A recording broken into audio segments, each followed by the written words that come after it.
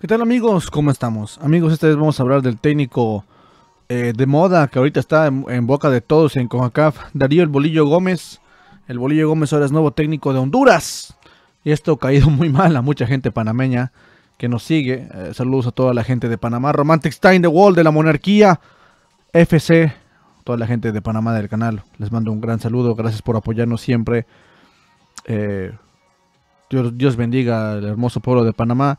Y muchos amigos panameños nos subieron, nos mandaron mensajes, nos mandaron unas, unos, unos tipos, eh, pues, pensamientos que tenían que ver con el Bolillo Gómez y cómo sorprende que el Bolillo Gómez ahora venga contra Honduras, o sea, va, a dirigir a Honduras y precisamente su primer partido de presentación, su debut va a ser contra Panamá, señores.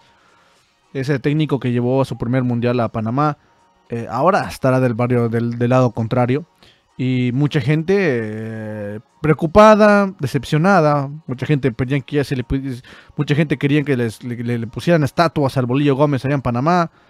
Ahora pues no quieren ni saber de él, no quieren ni verlo en pintura al Bolillo Gómez porque se va a encargar de llevar a la selección hondureña al Mundial, cosa que para serles sinceros, muy honestos, señores, creo que es, es muy complicada muy, muy complicada. Ahorita Honduras es la última posición. Se encuentra en la última posición del octagonal eh, con eh, tres puntos. Es la última, la peor de, de, este octagonal. Rumbo a Qatar 2022. Y el partido que se va a disputar en San Pedro Sula el noviembre 12. Noviembre 12, señores. Honduras contra Panamá. Será un partido de vida o muerte. Porque este partido puede catapultar a Honduras a PAM a, a subir de posiciones o puede también bajar a Panamá, ¿no? También Panamá puede perder puntos ahí, porque ahorita Panamá se encuentra en la posición número 4 en el repechaje.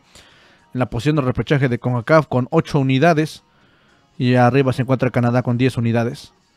Eh, va a ser un partido, repito, trascendental. Muy, muy importante para Panamá.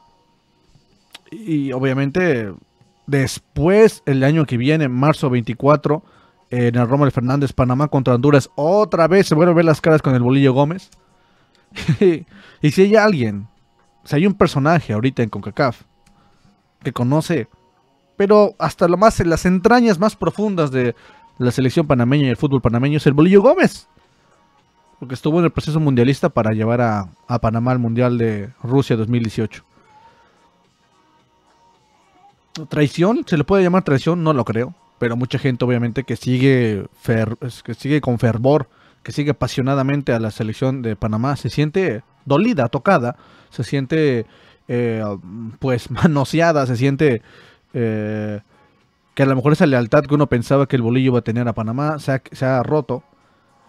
A, una, a lo mejor a otras personas les viene valiendo un reverendo comido, les viene valiendo 5 hectáreas de pepino, lo que suceda con el bolillo Gómez, pero es muy importante saber qué sucede. Yo creo que si hay, alguien que conoce y puede sacarle puntos a, Panamá, es el Bolillo Gómez, sin lugar a dudas, porque sabe de las carencias, sabe, conoce muy bien a los jugadores. Obviamente, muchos de esos jugadores ya no están en el proceso anterior. Román Torres, Gabigol, eh, Penedo, muchos de esos jugadores ya no están en el círculo eh, del cuadro titular. Quedan muy pocos. Eh, pero pues obviamente si hay alguien que, que, que, sabía de los procesos, que veía a los jugadores que estaban viniendo, que ah, obviamente recibe, recibía, recibía, informes de los jugadores panameños, es el Bolillo Gómez. Entonces va a ser muy importante ver cómo reacciona el Bolillo Gómez contra Panamá, ¿no? Porque es casi casi bailar con el, el enemigo, que es Honduras, el próximo partido.